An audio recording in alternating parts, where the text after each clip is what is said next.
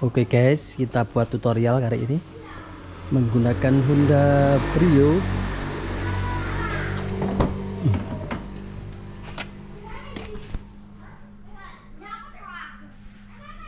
Assalamualaikum warahmatullahi wabarakatuh. Jumpa kembali di channel Andi Istiantoko. Dalam video kali ini saya ingin menjawab pertanyaan yakni kapan saja kita menginjak kopling. Nah itu pertanyaannya ya. Oke. Pertanyaannya kapan saja kita menginjak kopling? Jawabannya sebenarnya ya cukup global saja.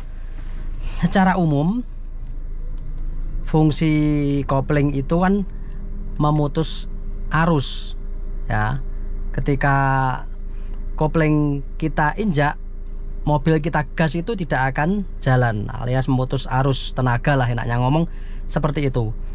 Jadi kalau kita ditanya kapan kita menginjak kopling kapan saja maksudnya itu di waktu apa saja kita menginjak pedal kopling itu waktunya apa saja. Kalau jawabannya yakni ketika secara umum ya ketika kita perpindahan gigi. Itu yang pertama jawaban secara umum jadi setiap perpindahan gigi kita menginjak kopling. Apakah setiap perpindahan gigi saja? Tentunya tidak. Jadi yang pertama jawaban secara global itu ketika mau pindah gigi.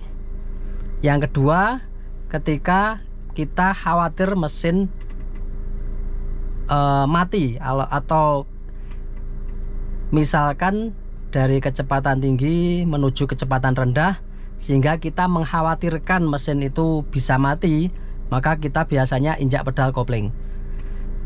Jadi rata-rata walaupun nanti bisa dipraktekkan di berbagai kondisi tapi rata-rata acuannya itu ada dua itu.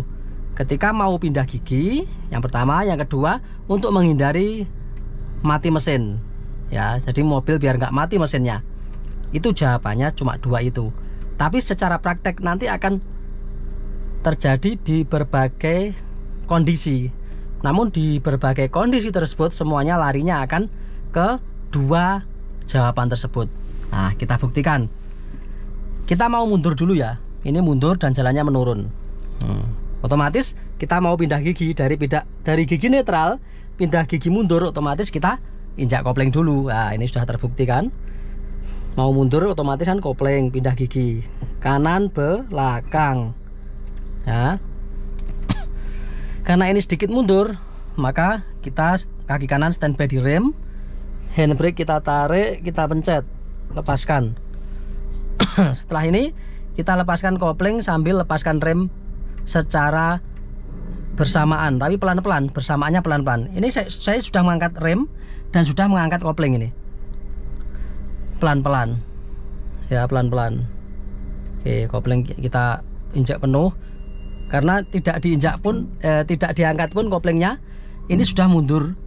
Ya sudah apa itu? Sudah jalan mundur. Cukup melepas rem saja ini ya. Saya lepaskan remnya. Kita lihat kanan kiri.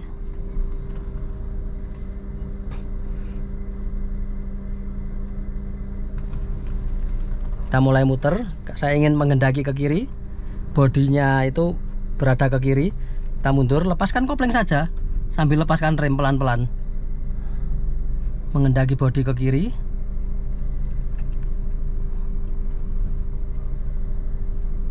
Ya oke. Okay. udah cukup ya ini. Kita rem kita kopling penuh. Kita netralkan dulu. Posisi masih di rem. Oke kita handbrake lagi. Nah itu contoh mundur jalannya menurun di sana. Itu menurun sekarang kita praktekkan kapan saja waktu kita pindah eh kapan saja waktu kita menginjak kopling. Jadi kapan saja toh kita itu menginjak kopling. Nah, kita buktikan ya dua jawaban tadi. Ketika mau perpindahan gigi, yang kedua ketika menghindari mesin mati atau mati mesin. Bisa dibolak-balik lah kata-katanya. Oke, kita praktekkan saja, guys kita kopling penuh. Nah ini kan injak kopling. Karena kita apa? Kita mau pindah gigi dari netral ke gigi satu. Pindah gigi satu kiri depan. Nah handbrake kita lepaskan. Handbrake tarik pencet. Lepaskan. Oke ini kita luruskan dulu setirnya. Kita sen kiri. Kita lihat belakang. Belakang masih ada Avanza satu itu lewat. Ada mobil Avanza lewat oke kita angkat kopling pelan-pelan. Kita angkat 1 cm 2 cm 3 cm oh sudah jalan ini guys. Getar-getar ini ya. Ditahan dulu kalau sudah jalan. 4 cm nah sen ke kiri. Kita muter kita rem terlalu kenceng ya. Dilepaskan kopling aja ini kencengnya banget ini ya. Kencengnya minta ampun. Oke ini cukup kita ngelepas kopling loh guys ini gigi satu posisinya. Kita cuma ngelepas kopling saja. Sekarang kita tambahkan gas ya. Kita tambahkan gas. Dari gigi satu. Sekarang pindah gigi dua. Kopling penuh. Tekan ke kiri arahkan belakang dua kali. Satu dua. Oke lepaskan kopling pelan-pelan. Kita rem pelan-pelan dulu. Jalannya sempit Oke, ini cukup. Saya cuma ngelepas kopling saja, mobil larinya sekenceng ini, guys. RPM 2 eh kok 2000, 1000 ke atas ini. Saya nggak ngegas sama sekali nggak saya gas ini. Loh. Sama sekali nggak ada gas, mobil sudah jalan. Jadi kalau belajar ini segini sudah kenceng, guys. Jadi nggak perlu digas pun mobil udah jalan kalau masih takut. Jadi standby di rem gini aja. Kalau masih belajar mungkin kalau menggunakan mobil ini. Mobil yang lain kadang karakternya beda. Kemarin mobilio terlalu pelan. Kita rem ya kita rem. Mau belok ini. Kopling nah kita kopling. Karena mau pindah gigi satu. Dan mesinnya agak bergetar agak mau mati. Oke kita mulai putar ya. Kita mulai putar nah. oke kita balas lepaskan. Cara muter setir itu nanti akan saya jelaskan sendiri lah ada teknik menyilang memang. Crossover atau teknik menyilang. Oke sen kanan. Kita rem dulu. Ini gigi satu ya. Tinggal kita kopling. Nah kita kopling lagi guys. Kita kopling lagi karena takut mesinnya mati. Kalau kan karena berhenti ya. Hmm, jadi intinya ini karena takut mesin ini dalam situasi karena takut mesinnya e, nanti mati mesin. Nah sekarang kita lihat kita angkat kopling pelan-pelan lepaskan rem juga pelan-pelan. Nah kita masuk ya guys. Oke. Sekarang tambah gas dikit-dikit ya.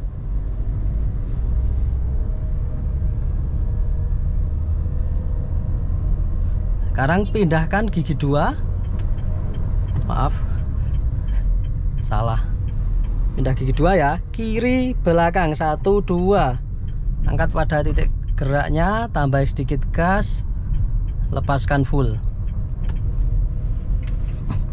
Oke. Kita pelan-pelan ya. Tadi saya sen kiri kenapa? Banyak kendaraan di belakang saya padahal saya mau pelan-pelan ini. Makanya agak kaget tadi hmm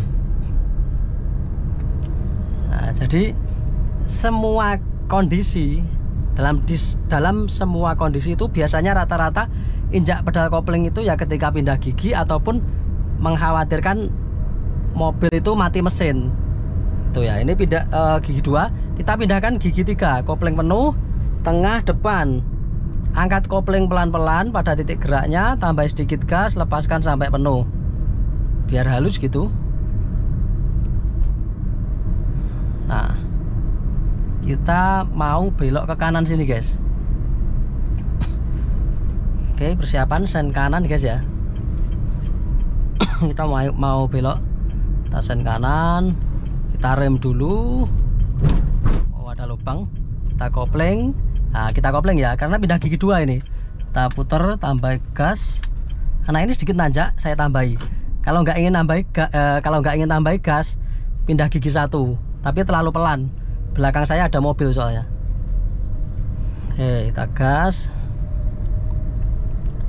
Pindahkan gigi tiga. Kopling penuh tengah depan. Angkat pada titik geraknya pelan-pelan tambah sedikit gas lepaskan sampai full pelan-pelan. Itu ya. Ini sen kanan kita rem dulu posisi masih gigi dua remnya dikit-dikit aja ini ya. Nggak usah banyak-banyak rem dikit-dikit aja. Setelah mulai pelan kita kopling. Kita puter. Setirnya angkat kopling. Balas tambah gas. Nah ini tadi kan nginjak pedal kopling karena khawatir kalau pelan itu mesinnya mati. Nah, walaupun tidak pindah gigi nggak masalah. Nah jadi jawaban dari pertanyaan kapan injak kopling? Ya ada dua itu. Ketika pindah gigi ataupun ketika mengkhawatirkan mesinnya itu mati. Wes itu aja jawaban secara global ya. Namun itu bisa terjadi di berbagai kondisi. Oke kita belok kiri guys. Belok kirinya sedikit melebar ini. Kalau melebar kayak gini mudah sekali hmm, kita muter setirnya gini aja ya. Pull and push gini. Gak apa-apa. Nah tapi biasanya kalau belajar bingung ya. Sen kanan. Ini nggak nggak ngopleng nggak masalah ini.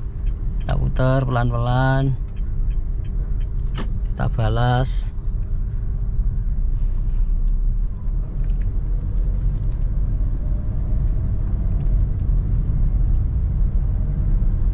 pindah gigi tiga tengah depan. Nah kan kita kopling pindah karena pindah gigi. Oh itu fungsinya itu guys ya. Kopling. Oke kita rem pindah. Mau belok kiri. Kita putar pelan-pelan sambil ngerem pelan-pelan. Karena sepi sekali kita langsung tancap gas saja ya. Posisi masih di gigi tiga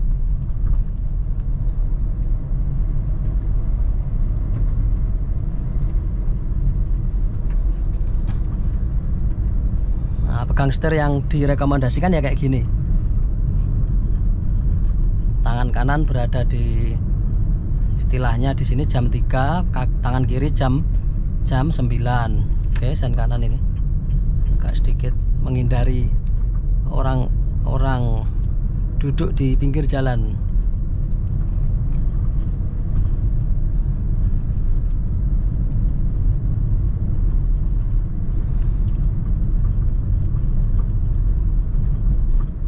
walaupun di jalan desa ini aspalnya sudah bagus ini.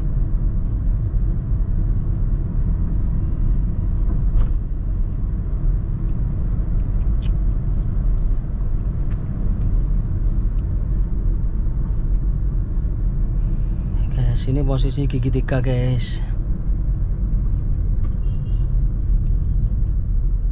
Mana ya mau belok cari. Oke okay. tasan kanan jalannya menikung tajam alias patah ya. Kita rem dulu kita kopling karena kita pindah gigi. Pindah gigi satu aja karena ini pelan banget. Oke setelah spion jajar dengan jalan kita mulai puter angkat kopling pelan-pelan.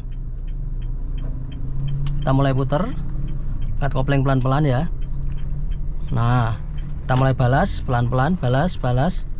Belum lurus kita balas terus sampai lurus. Nah ini sudah lurus. Sekarang tambah gas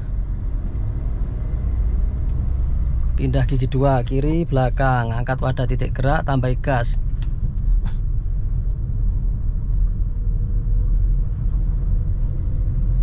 Ini masuk gang-gang di pedesaan. Gang-gang kecil di sini ya.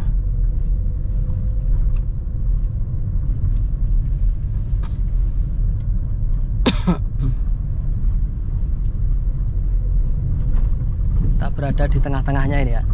Di antara dua cor-coran ini tengah-tengahnya jadi ban berada di sini ya ban ya. Oke kita rem kopling. Karena kita kopling ya karena ini mau pindah gigi satu lagi. Oke angkat kopling pelan-pelan tambah gas. Paskan sampai penuh. Pindahkan ke gigi dua. Tak pelan-pelan ya menghindari halangan. Kita rem dulu. Kita lihat sisi kiri oke. Oke kita jalan. Belok kanan guys. Kita rem kita kopling. Kita pindah gigi satu karena berhenti. Maksudnya pelan banget. Kita mulai muter sambil angkat kopling muter. Balas. Nah semuanya kondisi tadi injak kopling saya. Ini juga injak kopling karena pindahan gigi. Injak kopling saya itu karena ya takut mesin mati ataupun perpindahan gigi tapi kebanyakan perpindahan gigi. Nah itu jawabannya. Jawabannya global tapi bisa di berbagai kondisi yang bisa kalian lihat sendiri tadi ya. Itu guys.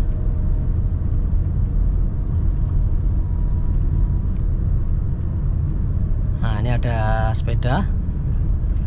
Kalau kalian ragu kalian bel saja. Oke sen kanan. Kita bel aja ya biar nanti dia tahu bapaknya. Belnya saya nggak pencet penuh biar nggak terlalu kenceng nggak kagetin. Oke kita belok. Ini posisi saya masih di gigi oh gigi dua. Posisi di gigi dua guys. Jadi nggak perlu saya kurangi tadi oke belok kanan lagi. Dan ini masih gigi dua. Cukup lepaskan gasnya biar pelan. Kalau kurang pelan kita rem. Kalau saya itu kita kopling. Nah ini baru kopling lagi. Angkat kopling pelan-pelan. Ini takut mesinnya mati kalau nggak dikopling guys ya. Makanya kita kopling. Lepas kopling sekarang tambah gas. Gitu ya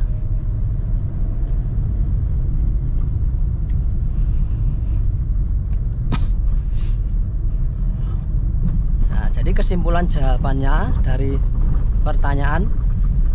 Ya seperti di awal tadi ada dua jawaban tadi ya.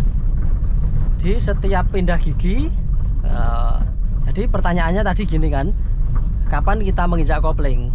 Di waktu kapan saja? Ya pokoknya di setiap perpindahan gigi ataupun di setiap kita khawatir mesin mobil itu mati. Nah, biasanya kita dari kecepatan tinggi menjadi pelan kan khawatir mesin mati. Atau di situasi yang mau berhenti. Biasanya kan kita juga takut mesinnya nanti mati kalau terlalu pelan dan gak dikopling. Makanya dikopling. Jadi dua keadaan tersebut yang paling banyak digunakan waktu untuk uh, menginjak kopling walaupun ditanjakan ya sama aja hampir sama seperti itu. Nah, jadi kesimpulannya sudah jelas ya.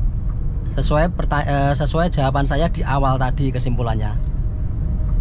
Oke sampai di sini dulu video kita kali ini. Wassalamualaikum warahmatullahi wabarakatuh. See you in the next video. Bye hmm. oke